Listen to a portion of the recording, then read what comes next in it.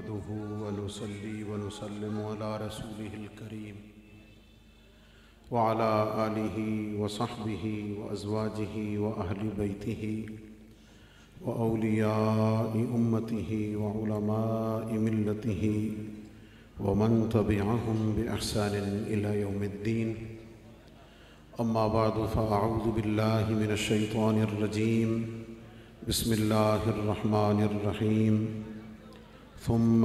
दना फ़तदल्ला फ़कान क़ाब क़ौसैन औ अदना फ़अौहा इला अब्दिहि मा औहा सदक़ल्लाहुल अज़ीम इन्नल्लाह व मलाइकतहु युसल्लूना अलन नबी या अय्युहल्लज़ीना आमनू सल्लु अलैहि व सल्लिमू तस्लीमा अस्सलातु वस्सलामु अलैका या सय्यदी या रसूलल्लाह वाला आलिका वासहाबिका या सैदी या हबीब अल्लाह वसलात वसलाम या इमाम अलहरमैन वाला आलिका वासहाबिका या जद्दल हसन वल हुसैन। गंज बख्श फैज़ आलम, मजहर नूर खुदा, नाकसारा, पीर कामिल कामिल आरा रहनुमा। मज़ महतशम जुमला सामीन हाजरीन ज़ुआमाए मिलत मशाइ ज़ाम ज़ाम सना ख़ान मुस्तफ़ा करीम सल्लल्लाहु अलैहि वसल्लम नकीबान महफ़िल जुमला सामीन व हाजरीन सब की खिदमत में अस्सलामु अलैकुम वरहमतुल्लाह मैं मोहतरमुलमक़ाम बरदर जनाब मोहम्मद आसिम आज़म साहिब उर्फ़ बाबू भाई को हमेशा की तरह इस साल भी ज़िक्र मुस्तफ़ा करीम सल्लल्लाहु अलैहि वसल्लम की इस अजीम शान महफ़िल के इनकाद की सआदत पाने पर दिल की गहराइयों से मुबारकबाद पेश करता हूँ। आप और हम जिस तारीख़ी जगह पे आज हाज़िर हैं, ये जगह हज़रत मौलाना मोहम्मद बख्श मुस्लिम रहमतुल्लाह ताला उनकी इल्मी, फ़िक्री, तहकीकी और तहरीक पाकिस्तान के हवाले से अजीम यादों पर मुश्तमिल जगह है। और इस जगह का एक एज़ाज़ ये भी है कि हम सब के उस्ताज़ मुरबी महसिन उस्ताज़ुलमा शेख़ुलहदीस व तफसीर, अल्लामा हाफिज़ मोहम्मद अब्दुलसत्तार सईदी हाफिज़ल्ला ताला ने अपनी ज़िंदगी के तीस से जायद साल यहाँ खिताबत का फरीज़ा सर अंजाम दिया है। इस जगह पे महफ़िल नूर का इनका यकीनन बड़े एज़ाज़ की बात है और मैं इस पर बार दिगर मुबारकबाद पेश करता हूँ। इस वक्त जिन मसाइल का और उन मसाइल की आड़ में जिन अभ्यास का और उसके ज़िमन में जिन गैर महसूस फितनों का दरवाज़ा खुल चुका है, उससे निपटने का एक तरीका तो ये है कि हर स्टेज पर उसे जेर बहस लाया जाए। और एक तरीका ये भी है कि जो मसल के हक है, बस उसे बयान कर दिया जाए। नबी करीम सल्लल्लाहु अलैहि वसल्लम आपकी ज़ात बबरक़ात ही असल ईमान है।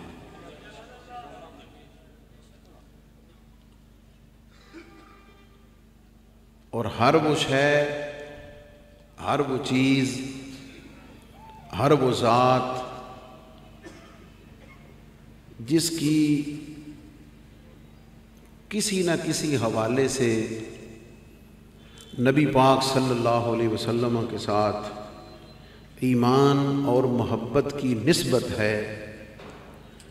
उम्मती के लिए सिर्फ़ और सिर्फ़ एक ही रास्ता है कि उनकी अज़मत के सामने सर झुका लें।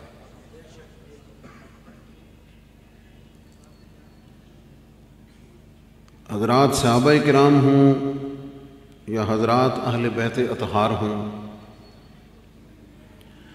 दोनों ही नस्बत मुस्तफ़ा के गिरद घूमते हैं।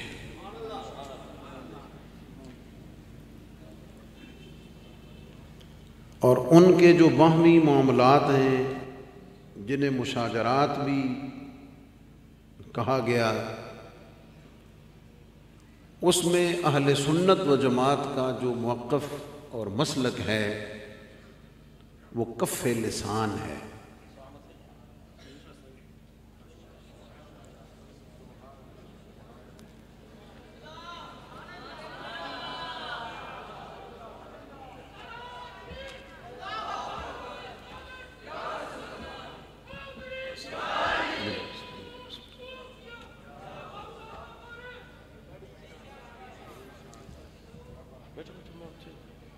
कफ़ लिसान का मतलब चुप कर मेहर अली। इतने जा नहीं बोलने और ये इतना नाजुक मसला है कि बड़े बड़े इलम के शाहसवार भी उन्होंने जब इस बॉर्डर लाइन को छेड़ने की कोशिश की है। तो उनका हशर क्या हुआ है, वो मुझसे ज़्यादा बेहतर आप जानते हैं। इसलिए मैं इस बड़े इज्तम और बड़े संजीदा फ़िक्र लोगों में ये अर्ज़ कर रहा हूँ कि इसके ऊपर बहस का दरवाज़ा बंद करना ही फला का रास्ता। एक बड़ा दिलचस्प और ईमान अफरोज़ वाक़ बस अर्ज़ कर देता हूँ।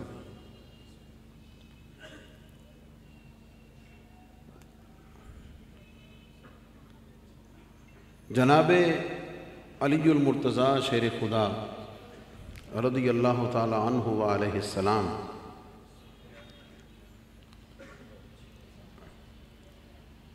झगड़ा कोई नहीं। झगड़ा रब की सलामतियाँ भी उन पर और रब राज़ी भी उनसे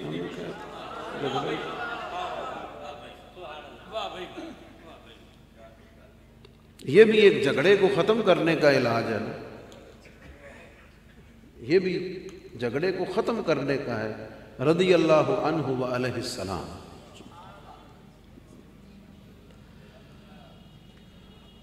आप फरमाते हैं कि हज़रत उम्र फ़ारूक रदी अल्लाह तु की ज़माना खिलाफत है। जनाब अलीमरतदा रदी अल्लाह तु फरमाते हैं कि मैं अपने घर में सो रहा था। कि मैंने ख्वाब देखा।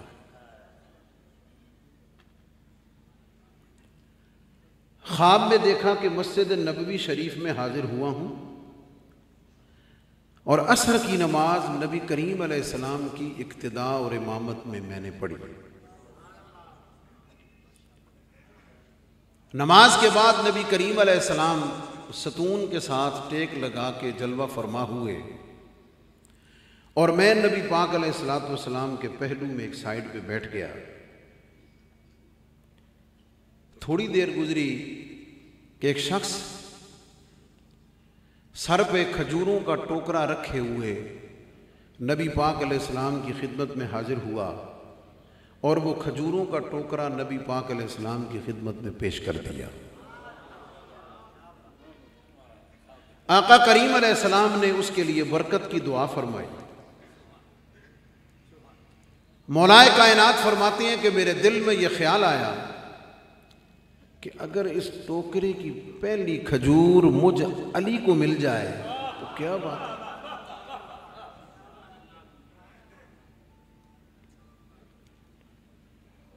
हज़रत अली मुर्तज़ा फरमाते हैं कि हजूर सलाम ने पहली खजूर उठाई और उठाकर मेरे मुँह में रख दी। जनाब मौलाए कानात फरमाते हैं कि बस इतने में मेरी आँख खुल गई।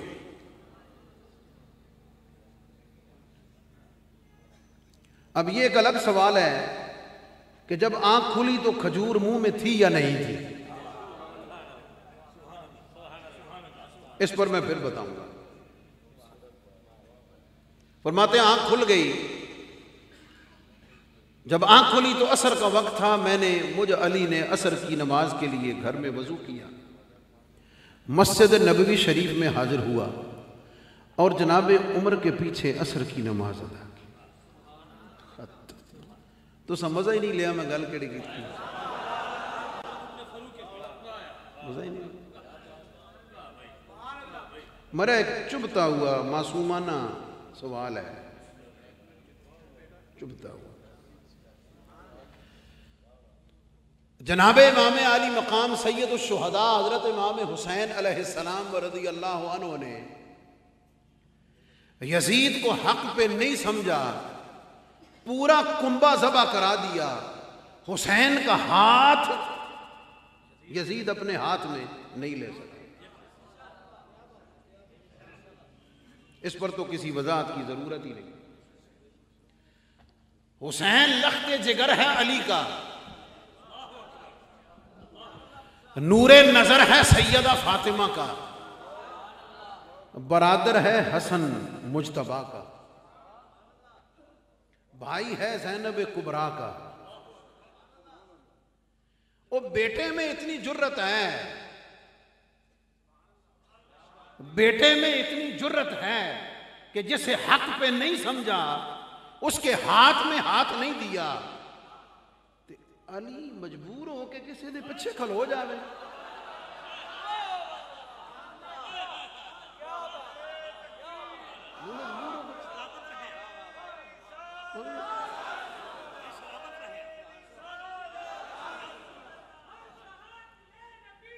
हज़रत हज़रत अली रज़ी अल्लाह तला जी जिरा पाते सन ना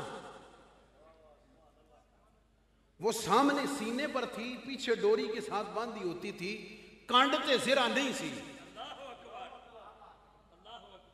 किसे पूछा कि जनाब जो भी सिरा पहनते हैं, सामने भी रखते हैं, पीछे भी रखते हैं। जनाब, आपकी सिरा सिर्फ़ सीने पर है पुष्ट पर नहीं है। जनाब अली और मुर्तजा ने फरमाया, अली ने माँ कांड ते जख्म खान ली जमे ही नहीं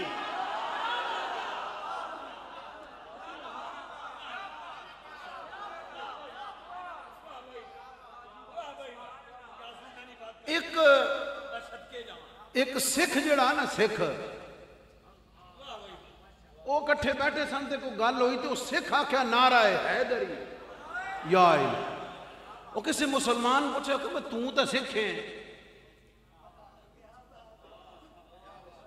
उस आख्या यार गल यह है अली दे ना दे इन्ना करंट है इन्नी ताकत है जदा असी भी लाइए तो सन भी ज़रूरत आ जाती नारा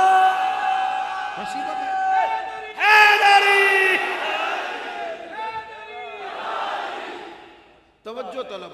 ना अली होवे तो फिर कोई मजबूर करा के लेके आवे पिछे खलोण ले कैसी बातें करते हो? ये अली की शान नहीं, ये अली की तोहीन है। फिर जेड़े तकीए का सबक तुसी जनाबे मोयलाए कायनात ली दस दे इमाम हुसैन नो कोई ना पता।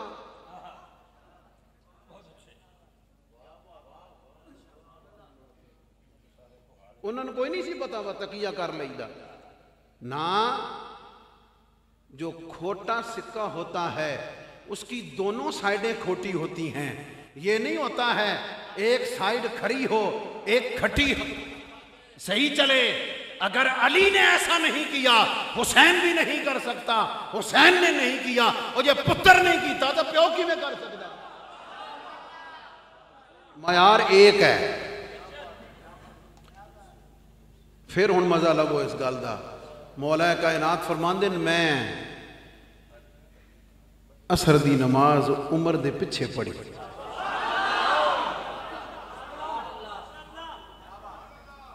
अज के गए गुजरे दौरे च वे वा मौलवी भी हो जो उस भी नमाज़ ना पढ़ानी होना वह भी आदा मेरी अख नहीं खुली जनाब मैं राति सफ़र तो लेट आया वो सौ बहाने के ख्याल है अली उल मुतदार की अल्लाह तला उठ के आए अपनी नीयत अपने इरादे क्योंकि अली उम्र के पिछे खलोने दिलो राज़ी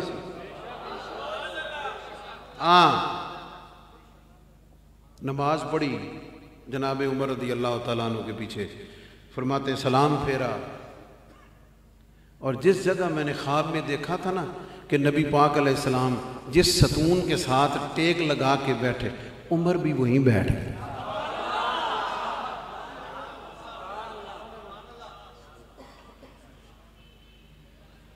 मतलब झट जहा लग्या तो बाबा खजूर वाला भी आ गया। हाँ? बाबा खजूर वाला भी आ गया। जनाब उमर फारूक रदी अल्लाह तु ने बरकत की दुआ फरमाई। मत मेरे दिमाग में वही ख्वाब चल रहा है। बरकत की दुआ फरमाई और पहली खजूर उठा के मुझे अली के मुँह में रख अब शान ये है कि बाबे मदीनत इल्म है। फरमाते, मेरे दिल में यह ख्याल आया कि शायद ये सारा हुसन इतफाक सारा ये हुसन इतफाक हो। फरमाते, मैंने जनाब उमर से अर्ज़ की कि जनाब, एक होर चा दो फरमाया, एक और अता फरमा दे, जनाब उमर फारूक ने मुस्कुरा के फरमाया, अगर हुजूर ने दी है तो मैं भी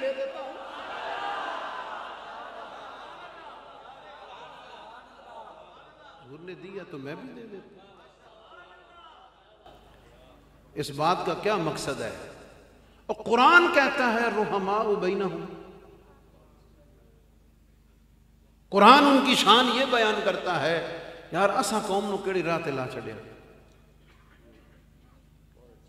और मैं माजरत के साथ, हमारी शान हकम बनना नहीं, खुदा के लिए। फैसला करना हमारा काम नहीं। हमारा काम क्या है? जब आ जाए ना नाम के साथ सिहाबी रसूल। बस। तो जिथे आ जाए आले बैते रसूल उथे तो विछण तो सिवा चारा ही कोई। यही रास्ता है निजात का। है यही राह फला है। यही राह निजात है। यही मसला के हक अहल सुन्नत व जमात है। मैं इसके ऊपर हजू दाता साहब रहमा की एक बात ज़ाहिर है, मैं मेरी सारी इज़्ज़तें उनके सदक़े से हैं। क्या ख्याल है, इलम में, फ़जल में सारे मुझसे बेहतर हैं। मेरी दो इज़्ज़तें वक़ार सब हजू फैज़ आलम की नस्बत और उनकी दर के सदक़े से है। जिन्हें कशफुल माजू पढ़ने का इतफ़ाक़ हुआ, वो उनके सामने है। हजूर फैज़ आलम ने चैप्टर बंद है सहाबा कराम के ज़िक्र में। ठीक है जनाब। पहले ज़िक्र किया जनाब अबू बकर सिद्दीक का। और आपके ज़िक्र में हजूर फैज आलम ने कशफुल माजूब में ये लिखा है अफदल बशर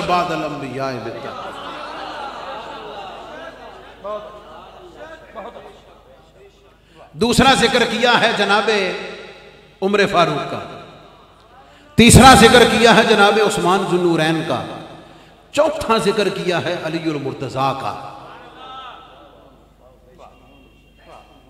सियाबा का चैप्टर खत्म। अगला चैप्टर अहले बैत का। उसका आगाज़ किया है जनाब इमाम हसन मुशतबा से। फिर ज़िक्र किया है जनाब हुसैन शहीद करबला से। फिर ज़िक्र किया है जनाब जैनआबिदीन बीमार करबला से। फिर ज़िक्र किया है इमाम मोहम्मद बाकिर से। अच्छा मैं बतौर तालब इलम मैंने इसके ऊपर गौर किया।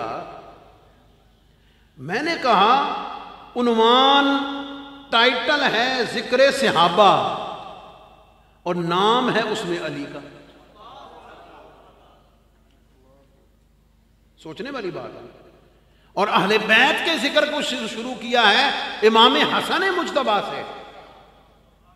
आय हाय हाय मैं हजूर फैज आलम की निगाह बसीरत पे सदके जाऊँ। मैं तालब इलम उससे ये समझा कि जनाब हजूर फैज आलम दातागंज बख्श रहमतुल्लाह ने थोड़ी सी मजीद तवज्जो चाहूँगा। मेरा दिया हुआ वक्त सिर्फ़ तीन मिनट बाकी है। गल मैं घंटे की कर छी ज़िक्र किया सहाबा किराम का पहले अबू बकर सिद्दीक, फिर उमर फारूक, फिर उस्मान गनी, फिर जनाब अलीमरतज़ा इधर ज़िक्र किया इमाम हसन, इमाम हुसैन, इमाम जैन आबिदीन, इमाम मोहम्मद बाकर अहल बैत अतहार का। मैं उससे ये समझा हूँ कि इधर जनाब सिद्दीक अकबर रज़ी अल्लाह तन हो उमर फारूक, उस्मान गनी, इधर ज़िक्र किया तीन सहाबा का, इधर तीन ज़िक्र किया अहले बैत अतहार का, दरमियान में रखा है अली को।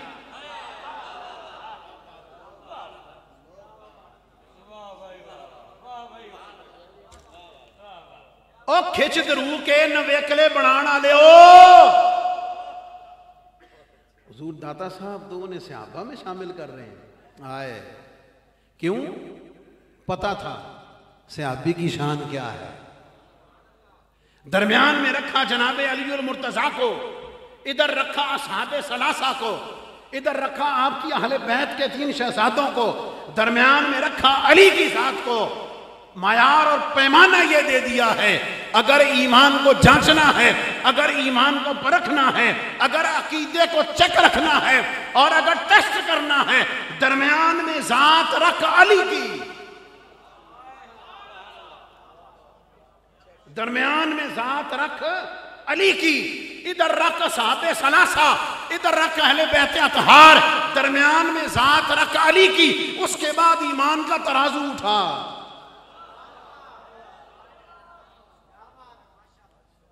अपने ईमान का तराजू उठा अगर इसमें झोल नहीं है। झगड़ा ही झोल रहा है अगर इसमें झोल नहीं है। क्या झोल नहीं है? जब इनका ज़िक्र आए तेरी निगाहें अदब से झुक जाएँ। जब इनका ज़िक्र आए तेरा सारा अकीदत से झुक जाए। तेरे दिल में अली की वजह से न इनके बारे में मैल हो, न इनकी वजह से अली के बारे में मैल हो। अगर दोनों तरफ़ से तेरा दिल साफ़ है, दोनों के लिए तेरे दिल में अकीदत, मोहब्बत, एहतराम अगर बराबर है तो दे मुबारक हो, तू अहले सुन्नत व जमात से है और तू दाता साहब के हाँ जी। मयार हक कल भी अली था, आज भी अली। हाँ ये याद रहे। इसलिए अली कल भी हक के साथ था, हक आज भी अली के साथ है। इसमें तो शक की कोई नहीं। लेकिन इनकी वजह से, इनकी वजह से बड़ी डाटी गल, लेकिन हकीकत पे मबनी। मौजूद हैं, सुनने वाले भी। और ये बड़ा स्टेज है, कहने में हरज कोई नहीं। तरबियती बात है। ज़िम्मेदारी से करने लगा हूँ। और अपने मनसब की नज़ाकत को समझते हुए, जोश के साथ होश को कायम रखते हुए, मैं एक जगह तकरीर करने गया तो एक साहब गुफ्तगु फरमा रहे थे। छुपाण की लड़ कोई नहीं, मैं कि काना किसी पीर सैयद मोहम्मद इदरीस शाह सुनजानी अल्लाह ताला उनको सलामत रखे। पैकर मोहब्बत इखलास पैकर मोहब्बत वफा। वो फरमा रहे सन, बड़ा उन्हें ज़ोर दिता, मैं टुरद तकरीर सुनी आने तक। फरमान लगे, लोग कहते हैं अली का ज़िक्र करने से बंदा शिया हो जाता है। माया नहीं होता उन्होंने पूरा ज़ोर लगाया इसके ऊपर। तो सुबह अल्लाह इसमें शक कोई नहीं। मैं फ़कीर भी पहुँच गया। अलामा कारी मोहम्मद आरिफ सयालवी साहब भी तशीफ फरमाते।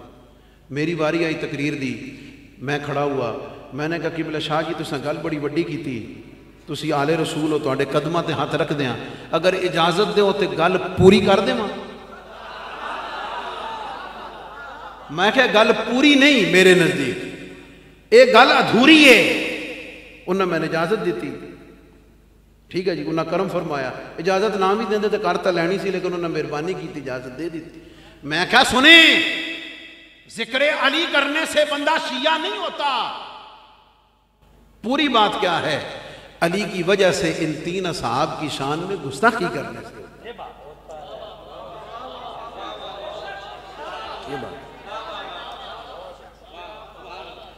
मशरक अहल सुन्नत व जमात का क्या है? वो ये है कि जब दोनों हस्तियों का ज़िक्र आए, दोनों का ज़िक्र पाक आए तो अपने दिल ईमान अकीदे को साफ़ सुथरा उजला रख के अपनी निगाहों गर्दन को झुकाते बस ख़त्म। और अगर कोई ऐसी बात आ जाए तो कफ़े लिसान चुप रहे। हकम न बने। जहाँ तक इल्मी मजालिस हैं, इल्मी माहौल है, डिस्कशन है, वो खासा दी गल आमा आगे नहीं मुनासिब करनी, वरना मिठी खीर पका मोहम्मद कुतिया के दर में।